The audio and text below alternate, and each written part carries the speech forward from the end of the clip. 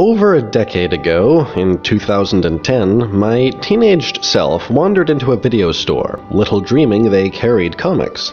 On a shelf stood several books containing something called Marvel Zombies. Naively, I picked up a volume titled Marvel Zombies vs. Army of Darkness, and.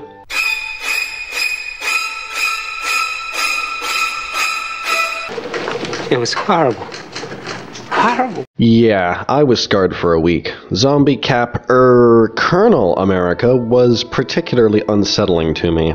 But the series, with its horrifying imagery, was like a train wreck, messy and horribly hypnotic, and over the next few days I read a number of the volumes. Finally, nausea and life overtook my fascination, though as the years went by, I'd occasionally wonder about the series, but my curiosity was safely locked in a rancid closet, except for the occasional reminder. Then, a few weeks ago,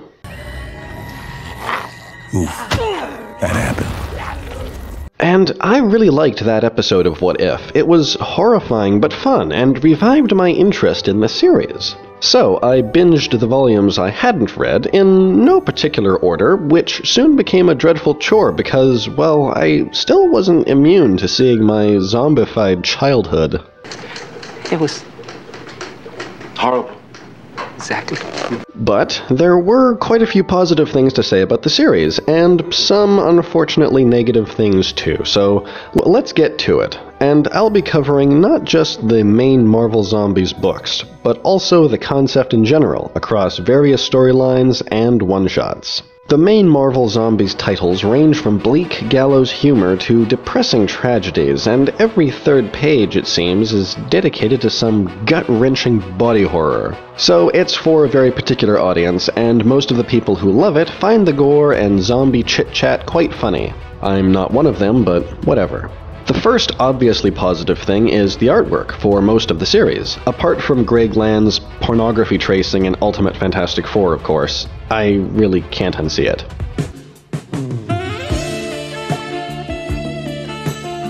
Moving on, moving on. The characters are well realized and absolutely nightmarish, with receding lips and ragged costumes, the heavy shading highlighting their undead eyes. You can practically feel the hunger yourself. The dialogue is well written in most of them, especially the earlier books by Robert Kirkman of The Walking Dead and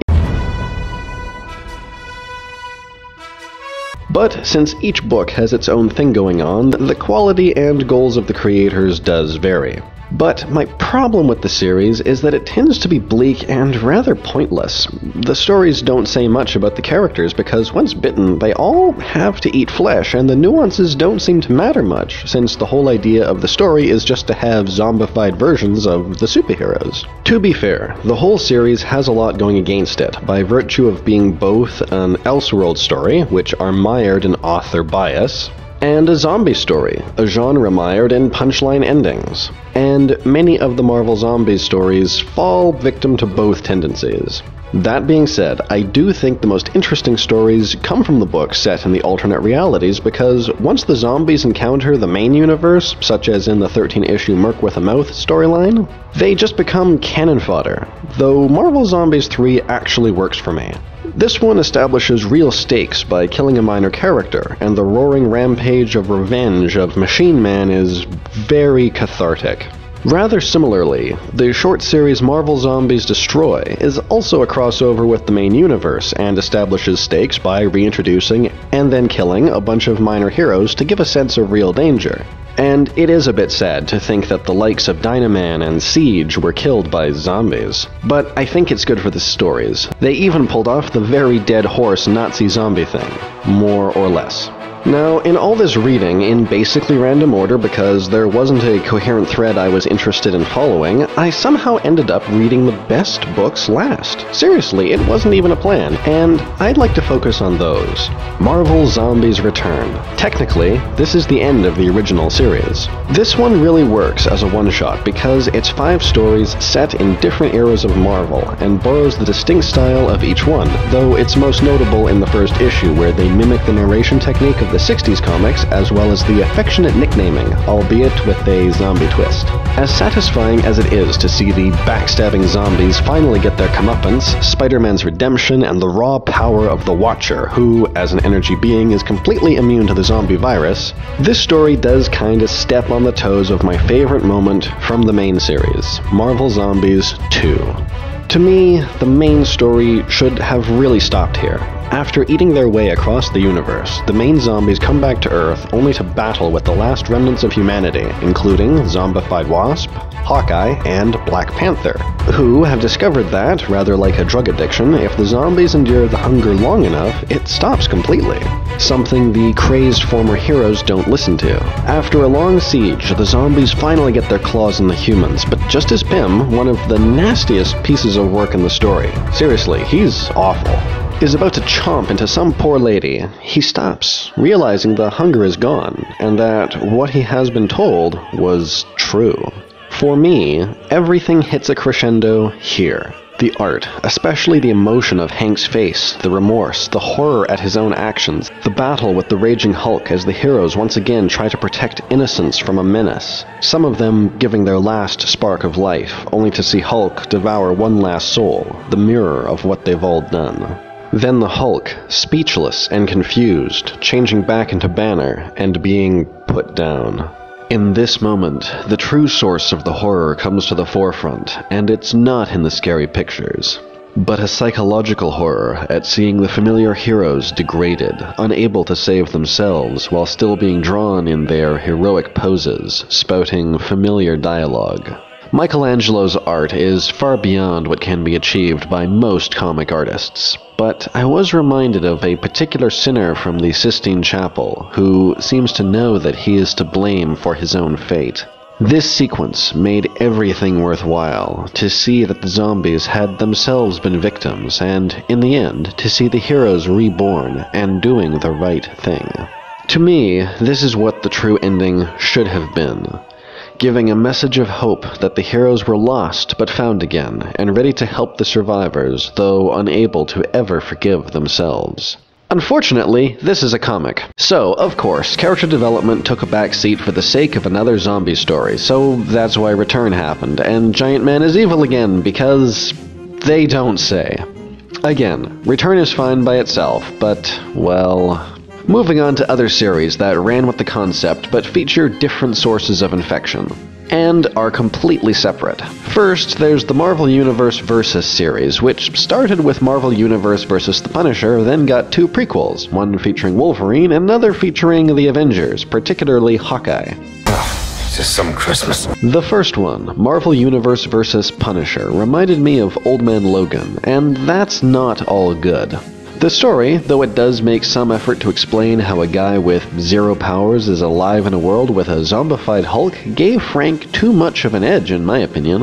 One of my biggest complaints about comics, especially ones from Marvel to be honest, is the tendency of writers to ignore whatever suits them and create scenarios that only work with some mental gymnastics on the part of the reader, or the excuse, It's only a comic. and there's a tendency to act as though grittiness is a superpower. While Marvel Universe vs. The Punisher is a great concept and mostly a worthwhile read, the ending is the sort of random that keeps me off of the zombie genre. Marvel Universe vs. Wolverine was the one I liked the best of these three. True, it also depicts Logan killing all the X-Men, just like Old Man Logan did, something I still say is nonsense because grittiness is not a superpower. But with the X-Men being zombies and wanting to bite, they'd get close and be in slicing distance, so it kinda works here?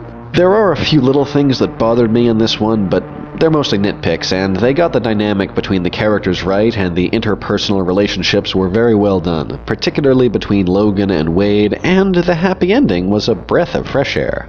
Marvel Universe vs. Avengers. Hawkeye's narration was very well written. Sometimes when I read comics, I just start glazing over the dialogue if what's happening is obvious, but I couldn't skip a word, and the story had lots of great moments. Though, similar to the Punisher story, the ending was a pretty random punchline. There's also this random manga one taking place in something more like the MCU. It started slow and silly, but it was uplifting, so yeah, it's fine. There's a beautiful one shot Halloween special from 2012. Yes, I said beautiful. It's a very wholesome story about a survivor and her son, and it's just really nice. But it is the same writer as 3 and 4, and he really seems to like killing the undead, so definitely read that one. Oh yeah, there's this one called Marvel Zombie from 2018. That one sucks. Some children literally doom the world, so we're not talking about that one. Marvel Zombies Supreme was one of my favorites. A crossover with the main Marvel universe, this one features the return of Jack of Hearts. Yeah, I've never heard of him either, but he was pretty cool and a team led by Jill Harper, an homage to Jill from Resident Evil, investigating a facility overrun with zombies, thanks to some cloning of the Squadron Supreme that went horribly wrong. Your scientists were so preoccupied with whether or not they could, they didn't stop to think if they should. It had romance and gore and heroism, and ultimately doesn't degrade the Squadron Supreme. Even the jokes were very dad and funny. Ah, but then of course there's a stinger on the last page. They just can't end things. Oh, and I'm not sure why, but Marvel Zombies have quite a few jabs at DC Comics, in particular Superman, issue 2 of Supreme being one of the more obvious. In fact, the original Infected Sentry was apparently a recolor of Superman, which explains his short hair and spit curl and the uh, missing chest area eh, in this picture. Eh, I don't know. Not really sure why this is a trend in these stories, but uh, there it is. And lastly, Marvel Zombies Resurrection. As of this recording, this is the newest attempt at Marvel Zombies, and I have to say, I think it's the best. The story takes place in two periods of time. On one hand, we have a group of survivors led by Peter Parker, whose spider sense is in overdrive, giving him an endless headache as he scavenges with his fellow survivors, including a reprogrammed Sentinel. And on the other hand, we have the events of the initial infection, the two stories being told simultaneously with lots of tragedy, sentiment, and heroics. And even though this one also ended with a tease for future stories, it wasn't in a punchline way, and I'd enjoy reading more of these. Then again, if I've learned anything from pop culture, it's that sometimes creators should just leave well enough alone. For me, these stories are best when they work around the established powers and characterizations in ways that make sense. Like Wolverine's healing factor fighting off the infection in Resurrection, or Cap being able to tank a whole crowd of non powered zombies, or when the heroes still quip even when things look impossible. I have said before that heroes, at their core, represent someone to step in when all hope seems lost, to prevent the worst. And even if they fail, seeing someone who was willing to give everything for an ideal, for those weaker than themselves, and face overwhelming odds is the essence of heroism. And these later Marvel Zombies stories, especially Resurrection, set in Elseworlds without plot armor, are inspiring stories of how much heroes can do when all hope seems lost. But only a few of these books live up to that, and the rest are rather senseless carnage. But if that floats your boat, then who am I to judge? I just think that it's too bad when anyone settles for less, when something like a zombie plague can still show heroes being the best of themselves. And the books that found hope in the mayhem as only heroes can made the whole journey worthwhile, rather like some other great stories from the zombie genre. There are a few that I didn't get into details about here, like the Marvel Apes and Marvel Zombies 5, which is a rather light-hearted tale of Howard the Duck and Machine Man visiting different realities. But honestly, I that's that's about it for me. I I've had I've had more than my fill of zombies for the for the time being. I, I did most of my reading at like six o'clock in the morning, and now I. May I go home? Go home, Ron. Thank you.